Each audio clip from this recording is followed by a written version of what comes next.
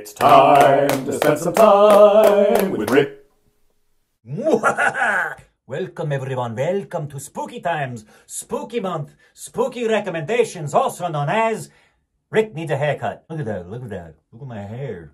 Gonna be throwing a ton of information at you in this video. So get out your pens, get out your paper, get out of your underwear. I have recommendations for Halloween films, classics, TV series, and a couple of Halloween comedies. Four TV series, seven classics, 10 current or semi current films, and two comedies. Halloween can be funny! No, it can't! Easy, guys. First, the TV series. Netflix for every single one of these series. Number one, The Haunting of Hill House. Number two, The Haunting of Bly Manor. Number three, Midnight Mass. Number four, The Fall of the House of Usher. The first one that I was talking to you about, which is Hill House, many of you know who've been around for a while, is the movie, and this is the creator who redeemed the horror genre for, genre for me. Not movie, TV series. And if you haven't seen any of them, please start and watch them. I'd watch them in that order.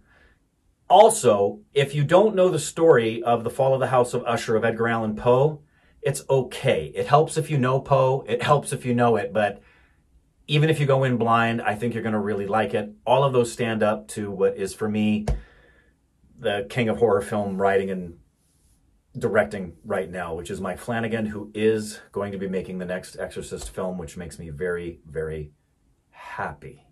For the classics, boy! Bela Lugosi's Dracula, which can be found on Amazon.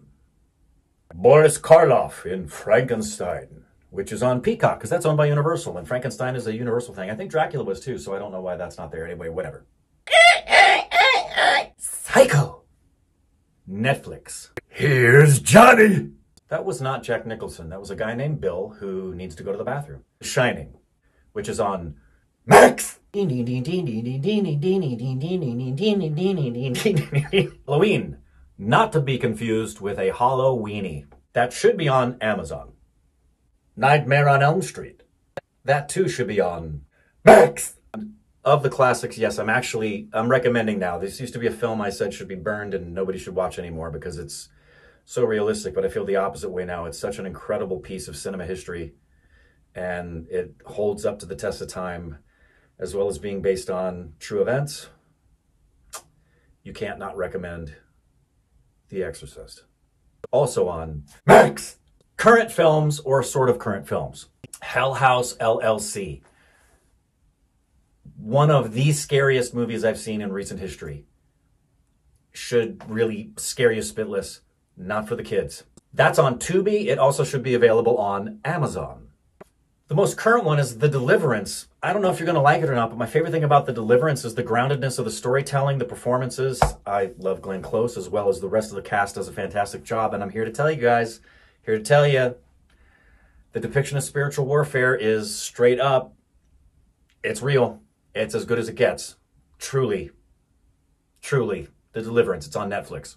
One of my favorites, and Indrani's of my favorites, that's just good, scary, last shift.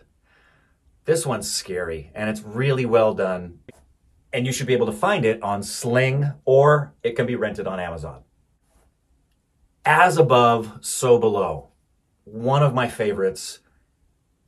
Pay attention. It's not only scary, the symbolism, the storytelling, one of those movies that we've watched with other people.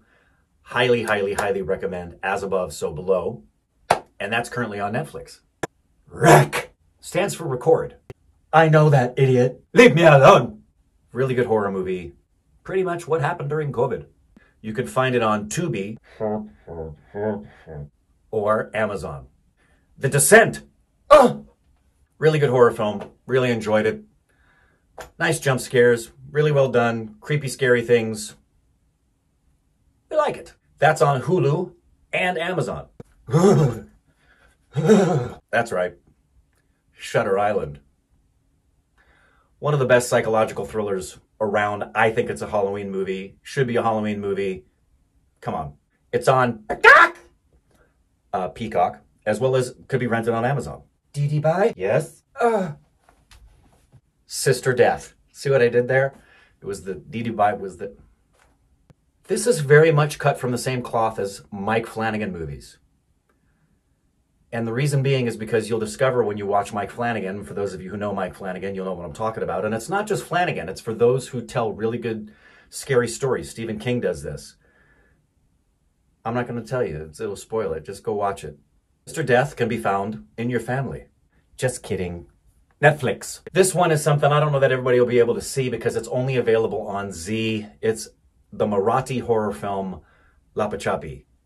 Love this film. I wish more people would see this if you have access to it.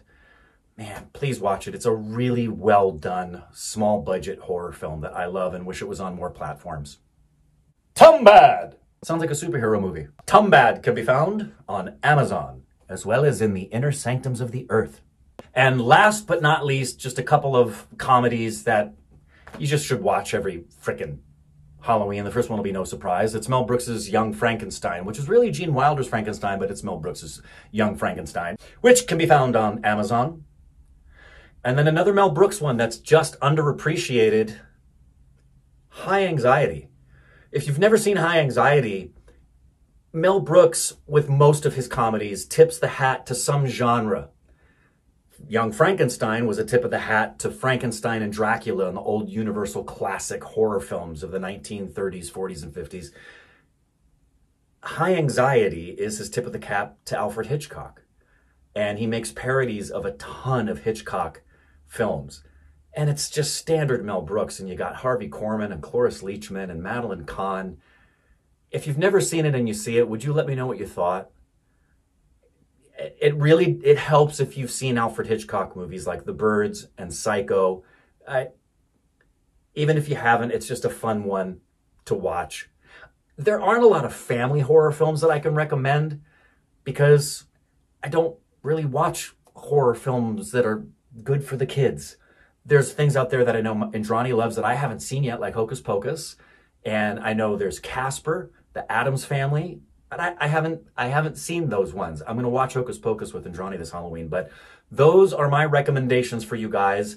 If you have some others, if there's ones you'd like me to watch that I didn't mention and you're wondering if I've watched it and maybe do a review of, let me know. But happy Halloween, happy spooky season, and yeah, I'll see you after Halloween if we survive. Ha ha ha ha ha!